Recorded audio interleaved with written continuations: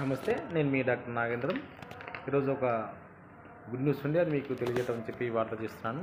కేంద్ర ప్రభుత్వం అనేటువంటిది అందరికీ కూడా ఒక గుడ్ న్యూస్ తెలియజేసింది. ఏదంటే సిఆర్పిఎఫ్ బలగాలకు సంబంధించినటువంటి పరీక్షల్లో ఇంతవరకు హిందీ ఇంగ్లీష్ భాషలోనే ఉండేది. ఇప్పుడు ఆ హిందీ ఇంగ్లీష్ భాషల్లో కాకుండా అన్ని రకాలుగా పదమూడు భాషల్లో ఆ పదమూడు భాషలు గుజరాతీ మలయాళం తెలుగు తమిళ్ తర్వాత అస్సాం బెంగాలీ ఒడిస్సా గుజరాతీ మలయాళం మణిపూర్ కొనక్కం ఉర్దూ కన్నడ మణిపూర్ ఈ అన్ని భాషల్లో కూడా ఎగ్జామ్ కండక్ట్ చేయాలని చెప్పి కేంద్ర ప్రభుత్వం కీలక నిర్ణయం తీసుకుంది.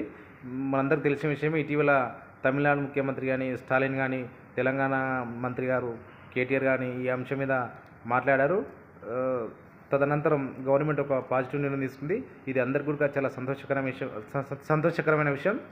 ప్రతి ఒక్కరు కూడా అంటే ఏ ఏ ప్రాంతీయ భాషలో ఉన్న వాళ్ళు కూడా ఈ ఎగ్జామ్ రాసుకొని క్వాలిఫై కావచ్చు. ఇది ఒక సదావకాశం మీ అందరికీ ఉపయోగపడుతుందని చెప్పి నేను ఈ వీడియో చేస్తున్నాను. Thank you.